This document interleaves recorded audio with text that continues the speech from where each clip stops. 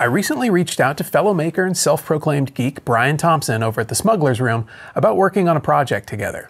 We're fans of each other's work, and we thought this would be the perfect opportunity to build something out of nothing. You mean make something? Out of nothing. I thought we talked about this. We started discussing what we could collaborate on, and in the process, I found out that Brian was working on a cantina beer tap for the Smuggler's Room. And Derek's been looking for a lighted display for an IG 88 droid head that he's building. So we decided that I would make the droid heads for each of us in two different styles. And I would handle the lighted display stand and the beer tap design.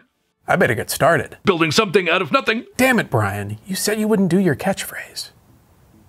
Since we all know that buying droids from Jawas is bad news, I found an awesome 3D model online and got down to printing, sanding, and priming until the surface was ready for paint. Since Brian was looking for a really rusty, weathered version like you'd see around parts of Galaxy's Edge, I went with some of my favorite tricks, starting with Super 77 spray adhesive. This is an easy way to create a good amount of texture that isn't too chunky. Plus, the adhesive allows you a way to apply additional layers of weathering like sawdust, or in this case, powdered wood putty.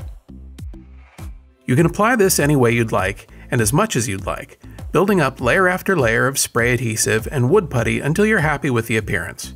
Then set it aside to dry.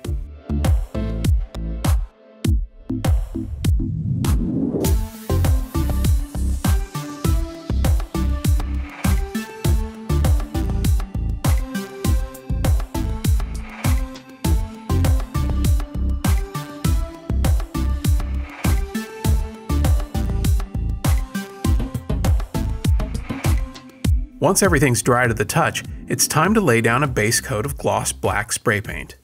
The gloss black helps give our chrome paint layer a better reflectivity, although for this version it's not as important since I'll be weathering it to look like it's been left out in the deserts of Tatooine.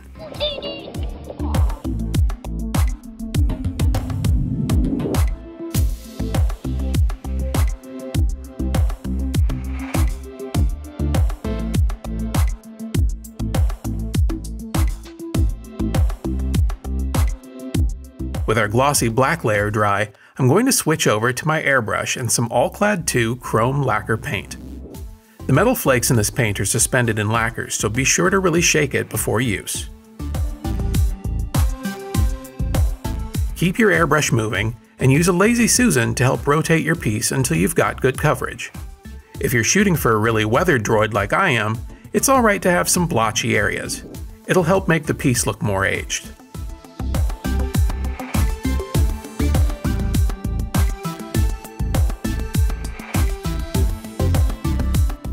Lacquers dry pretty fast, so after just a few minutes I'm able to start with the weathering. To really get this looking right, it's going to be important to layer the paints. So often we have a tendency to go heavy right off the bat, but to really get a realistic look it's important to add layer upon layer of paint until you've built up to the final look. I started with pure black that's been thinned out with some glass cleaner. You could also do this with water, but I found that glass cleaner thins the acrylics more evenly without clumps. I'm applying the paint to all the recesses and then wiping the paint away with a damp rag. If your paint is too heavy, you can spray the surface of your droid with the glass cleaner to help wipe away the excess.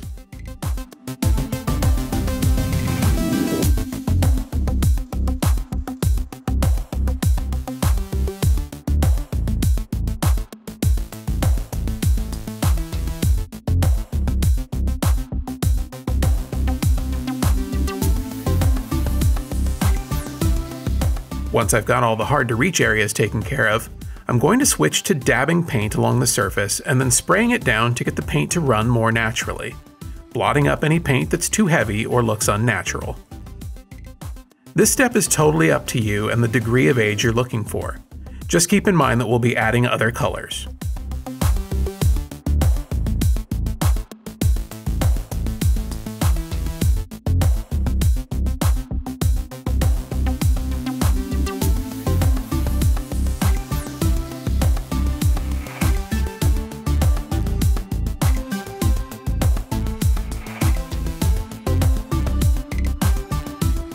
Now that I've got my darkest paint layer down, I'm going to switch to a medium brown paint and I'm going to apply it using the same technique, dabbing paint across the surface and blotting up any excess, then repeating until I'm happy with how it looks.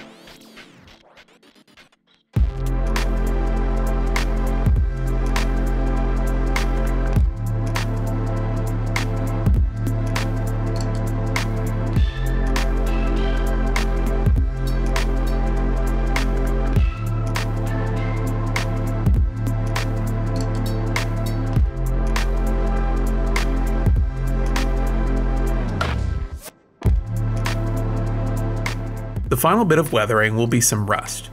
Since there's already a ton of texture, I don't need to use any of the rust techniques from my other videos.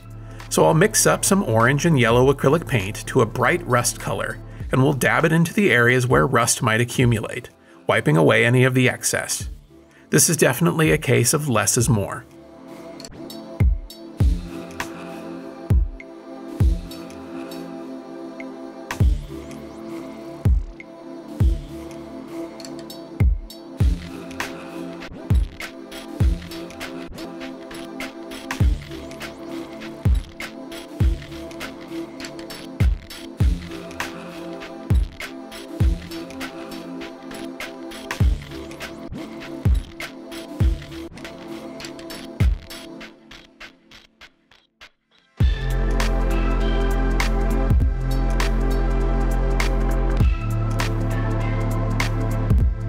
If there's any areas that don't look quite right, go back and add in more layers of weathering until it looks right to you and then set it aside to dry.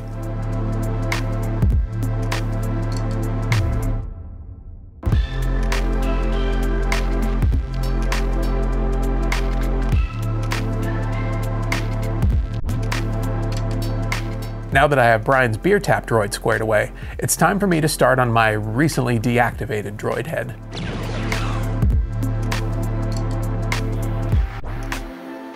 I'm going to start again with the spray adhesive since it's a nice soft texture that gives a real used universe look without being too grunged up. Then it's on to gloss black spray paint. For this version, since I want more of the chrome shine, I'm applying a light dust pass of paint and then a much heavier wet pass, being sure not to go too heavy and cause drips.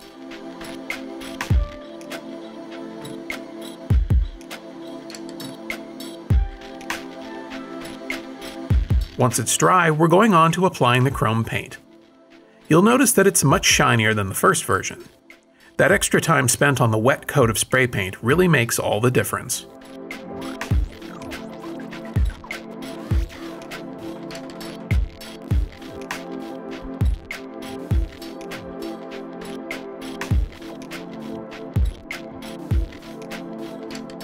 Now we can move on to weathering, which will be much less severe for this version. To start, I'm going to thin down a medium brown acrylic paint with glass cleaner, and with the airbrush at about 15 psi, I'm going to apply paint along any horizontal lines in the model to create a slightly greasy look. I've got a wet rag handy to break up any areas of paint that look too heavy, and we'll go around the entire piece, hitting any areas that look like they could have some buildup.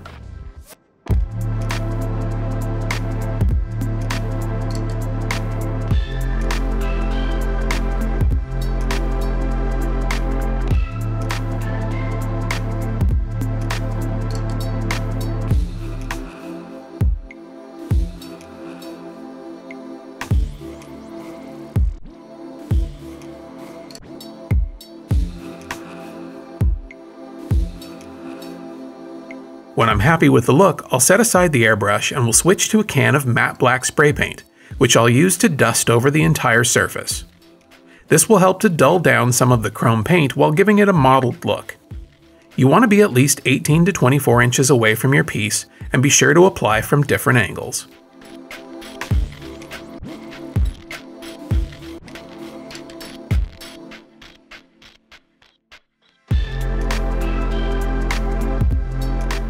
The last thing to do is add a touch of rust with some burnt sienna paint. This should be really subtle. You'll definitely remove more paint than you leave on.